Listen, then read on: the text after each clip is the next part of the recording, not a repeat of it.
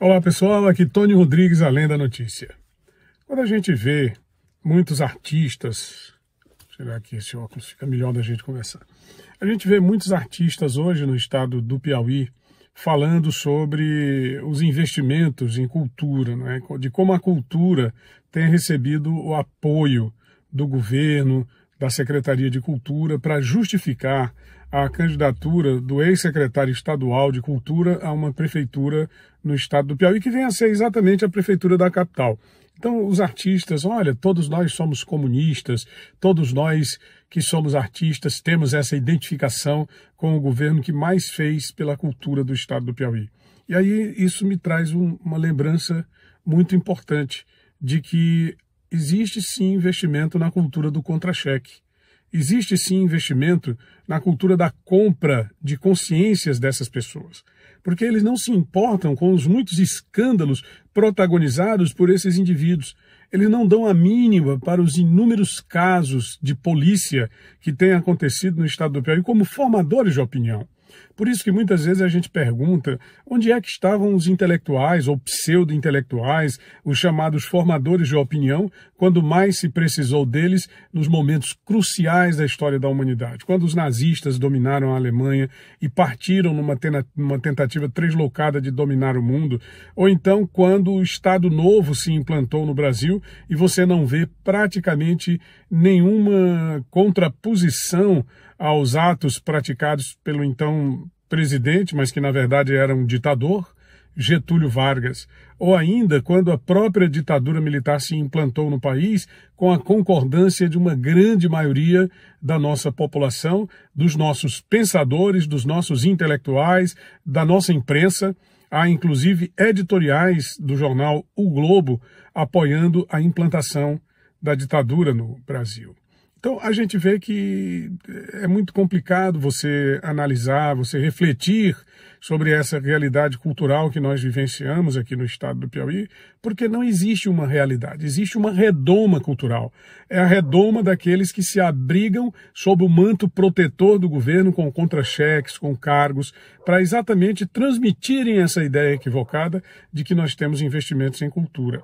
Essas pessoas certamente não conhecem investimentos em cultura, não sabem que não, não tem nenhum por cento dos valores que são previstos no orçamento destinados ao setor cultural. No dia que chegar pelo menos a 1%, aí se poderá dizer que o governo do Piauí, na atualidade, investe no setor cultural. Enquanto isso não acontecer, é apenas falácia, é apenas a cultura do contra-cheque. E isso não é bom, isso é lamentável, isso é triste, porque essas pessoas elas deveriam estar pensando na transformação.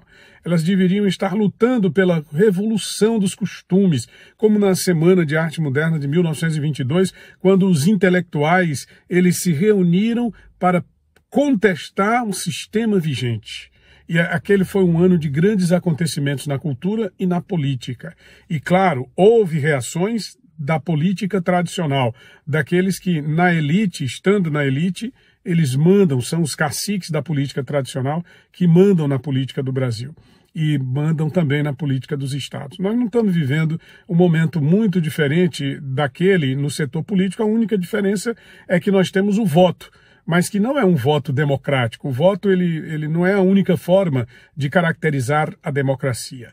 O que caracteriza a democracia é quando esse voto é praticado dentro do sistema de democracia, dentro do sistema democrático, ele é praticado livremente. E isso não tem acontecido no momento que a gente vive hoje aqui no Brasil e aqui no estado do Piauí, com raras exceções que foi o caso de 2018, quando a população se reuniu para dar um basta aos desmandos do PT, que é isso que está faltando acontecer aqui no estado do Piauí.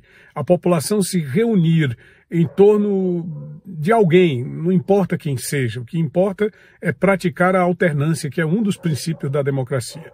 Mas aqui não é que saia de um ruim para entrar no outro pior, ou que saia de um ruim para entrar no outro ruim.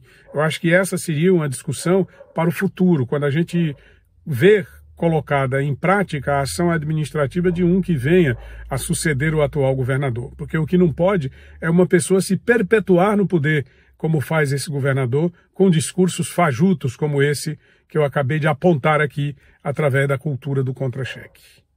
Se você gostou aí do nosso vídeo, deixe seu gostei, se inscreve no nosso canal. Eu sei que é difícil. Pensar é difícil. O Renato Russo dizia: quem, quem pensa por si mesmo é livre e ser livre é muito perigoso.